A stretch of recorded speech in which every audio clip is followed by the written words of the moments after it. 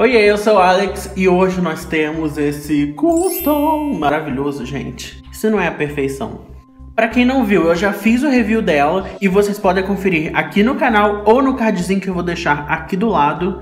Quando eu falo card, é algo que aparece aqui. Provavelmente está aparecendo, Deus queira que esteja. E eu também vou colocar o link aqui na descrição do vídeo. Então é só você clicar em um dos dois que você chega lá. E também é bom pra gente meio que ter uma comparação de como ela era antes. Aqui nesse vídeo eu também vou mostrar umas imagens de acordo com o que eu for falando, com as mudanças que eu fiz. Então, de qualquer modo, vocês vão ficar por dentro de tudo.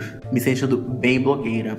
Bom, então direto ao assunto, vamos à boneca, começando pelo cabelo, que, claro, é uma das coisas que mais faz diferença na boneca, não tem como o cabelo bem cuidado da outra cara pra boneca, não tem jeito. E aqui na franja, eu decidi manter a franja do jeito que ela vem, porque na animação ela é meio pontudinha para formar um coração com o cabelo, mas eu fiquei com medo de cagar muito, então eu falei, olha, melhor deixar com o que já tá certo, então nem toca numa tesoura nesse, nessa franja então deixa assim mesmo. Daí a franja ficou assim e aqui eu mudei o penteado dela. Como vocês podem ver aí do ladinho, o penteado dela, ele tinha aquele coquinho em cima, mas que não tem nada a ver com o que era para ser e nem com o estilo da Cupido.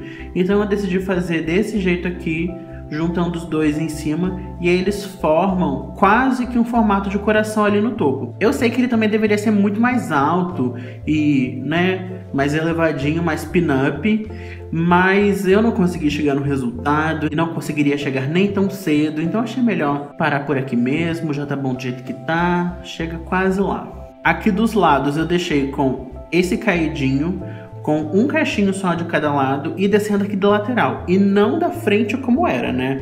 A boneca vem com esses cachinhos descendo aqui, mas eu achei eles bem escrotos deixa isso pra versão dela do Throne Coming. Faz bastante tempo que eu fiz o cabelo dela, foi bem naquela semana mesmo que eu postei o vídeo.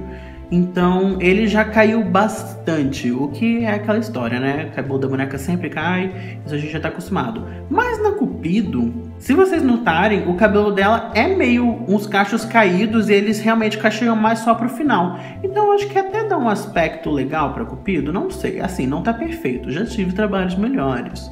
Mas tá ok para mim. Pelo menos assim tá sobrevivendo, né, na medida do possível. Ele é amarradinho aqui em cima, então é assim que é mais ou menos o penteado dela. Agora, no nível de pinturas, a gente tem aqui a tiara dela, que eu pintei as flores de amarelo.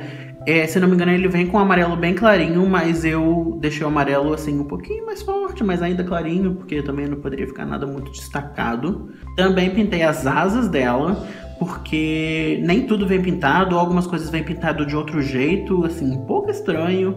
Então eu quis pintar para ficar bem parecido como é na animação. Aqui do lado, por exemplo, eu dei uma ajustada nessas flores, elas vêm rosinha claro e eu pintei elas de amarelo, como é para ser. Essa corrente de corações, a mesma coisa, ela vem um rosa bem clarinho e eu pintei de um rosa mais forte. E essas cordas também, elas não vêm pintadas, se não me engano. As folhas às vezes também vêm pintadas assim, bem mais ou menos, então eu tive que dar uma arrumadinha. Assim, a cor nem sempre bate, na maioria das vezes realmente não bate. Então realmente é quase impossível você chegar na cor exata que vem de fábrica mas eu tentei chegar o mais próximo possível. Também pintei uns detalhes aqui nessa flor para ficar mais parecido como é no desenho e completei a pintura atrás que vem inteira sem pintura, como eu mostrei no review. Então eu precisei terminar essas folhagens que tem por aqui, mais florzinhas e esses detalhes rosas que tem das flores, aquelas correntes de coração também. Isso tudo teve que ser feito. Nos braceletes eu só pintei para dar um retoque mesmo onde a pintura veio meio falhada. Aí eu consegui chegar bem perto do tom rosado que vem. E a mesma coisa aqui no colar. Eu só dei uns retoques de verde e rosa onde estava meio falhado, onde estava meio estranho. E aqui no cinto teve uma mudancinha levemente significativa, que eu tive que fazer essas bolinhas que tem, olha, nesses ramos que tem aqui descendo. E esse cinto é curioso porque na animação ele não tem o, o cinto propriamente dito. Ele é só esses ramos de flores descendo. Então eu decidi pintar com esse cobre para combinar e ficar bonitinho com o resto do metal que tem na roupa dela, né?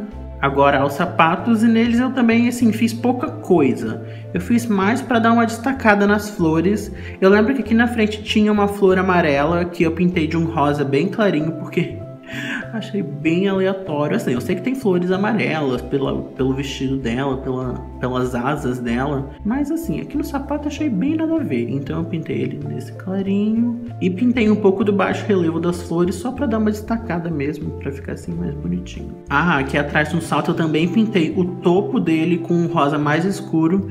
E fui descendo com o rosa clareando, ficando quase nada. Ou seja, chegando na cor original do sapato. Que achei que ficou assim, bonitinho buquezinho. No buquezinho de flores dela, eu também fiz algumas modificações, as quais, eu não vou mentir, eu não lembro. Porque ele vinha assim com umas cores aqui, umas cores lá, então eu não lembro o que vem pintado e o que não vem pintado, para falar a verdade. Aí então do lado eu vou colocar uma linda comparação para vocês verem mais ou menos como ele vem e a pintura que eu fiz.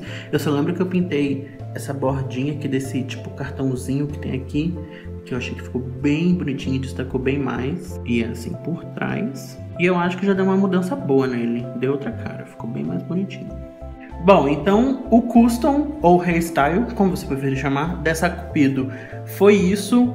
Ela parece que não precisa de muitas mudanças, mas a pintura da asa já dá outra cara para ela. Eu não sei, na minha opinião, ela fica assim bem melhor. Algumas pessoas acham um pouco carregado porque as cores são mais fortes, mas não sei. Se essa foi a proposta que tava no episódio, então por que não fazer a boneca do mesmo jeito, né? Eu tô sentindo que eu mostrei essas coisas um pouco rápido, então se eu fiz isso, me desculpe, às vezes sou só eu que tô realmente desacostumado a fazer vídeo pequeno. Mas então se você gostou, deixa o seu like, porque me ajuda muito. E se você é novo aqui no canal, não deixa de se inscrever e ativar as notificações no seu celular para sempre saber quando eu posto um vídeo novo. Muito obrigado por ter assistido ao vídeo, a gente se vê semana que vem e tchau!